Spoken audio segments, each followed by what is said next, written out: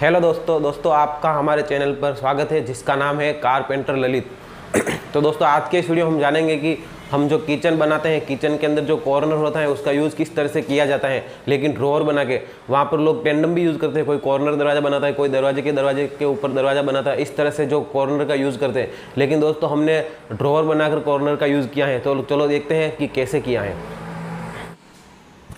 तो दोस्तों, इस तो दोस्तों, ये किचन है।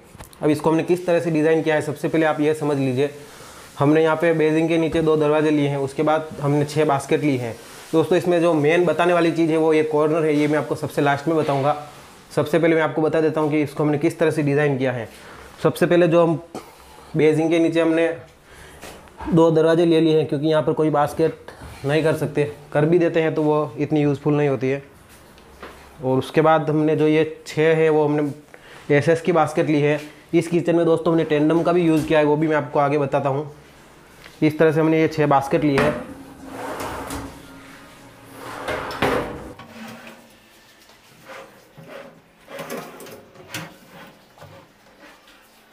ये छः की छः बास्केट है और जो हैंडल का हमने यहाँ पर हैंडल का कोई झंझट मारी नहीं रखा, यानी कि बाहर से कोई हैंडल लगेगा नहीं, हमने इन इनबिल्ड ही हैंडल बना दिया है, कुछ इस तरह से। और दोस्तों, उसके बाद हमने छः बास्केट बाद छः बास्केट के बाद हमने ये पुल आउट लिया है। और जो कॉर्नर का यूज़ करते हैं हमने, वो इसको किया है, ये मैं आपको थोड़ी देर बाद बताता हूँ। और ये जो हमने लिया है, ये टेंडम ली है। और दोस्तों, ये जो हमने टेंडम इधर हमने एसएस की बास्केट ली, यहाँ पे पुल आउट लिया, और यहाँ पे फिर से हमने एसएस की बास्केट ली।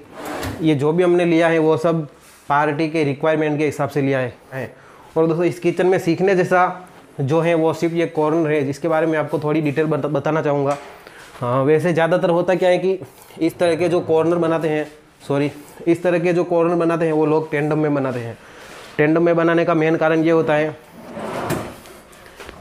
अभी हमने प्लाई में बनाया है तो हमको यहाँ पे एक इंच की ये गैप यहाँ पे हमको छोड़नी पड़ी।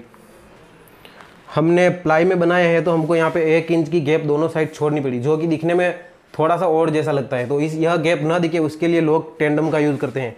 टेंडम में होता क्या है कि ये दो जो आ, ये कॉर्नर की जो ड्रॉवर के ये दोनों पल्ले हैं वो दोनों खींच जाते हैं और उसके बाद वो ड्रॉवर खुलती है।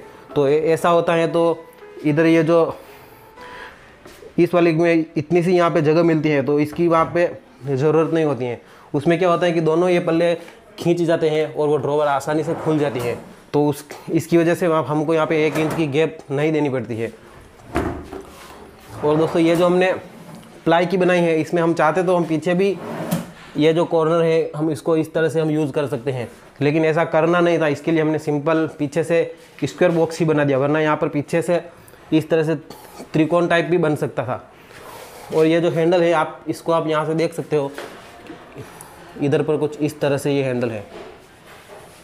तो दोस्तों, इसमें आपको ध्यान क्या रखना है, वो मेन मैं आपको बताना चाहता था। ये जो हमने एक इंच की यहाँ पे, एक इंच, सवा इंच का जो हमने गैप रखा है, वो हमने इसलिए रखा है क्योंकि जब ये खुलता है तो ये यहाँ पे टच होता है। और ये टच होता है, उसके बाद भी ये जो ये जो चैनल है, वो भी इस रोवर को टच होती हैं। इसके लिए हमको यहाँ पे एक सवा इंच का ग्रू देना पड़ा। और जो टेंडम होती हैं, उसमें ये जो पल्ला है वो इस तरह से खींच जाता है दोनों, और उसके बाद वो ड्रॉवर खुलती है तो उसमें ये ग्रू देने का कोई ज़रूरत नहीं होता है। तो दोस्तों आई होप कि आप अच्छे से समझ गए होंगे कि जो कॉर्नर की स्पेस होती है वो हमने किस तरह से यूज़ की। लोग ज़्यादातर यहाँ पर टेंडम भी यूज़ करते हैं मैजिक कॉर्नर भी यूज़ करते हैं लेकिन हमने जो टेंडम यूज़ करते हैं उसी तरह से लेकिन हमने ड्रोवर बना किया है। तो दोस्तों आई होप कि आपको इस वीडियो में अच्छे से सब कुछ समझ आ गया होगा। दोस्तों ऐसे ही अच्छे वीडियो और देखने के लिए हमारे चैनल को सब्सक्राइब कीजिए और वीडियो को लाइक कीजिए अगर अच्छा लगा हो तो, तो दोस्तों मिलते हैं नेक्स्ट वीडियो में तब तक के लिए जय हिंद जय भारत।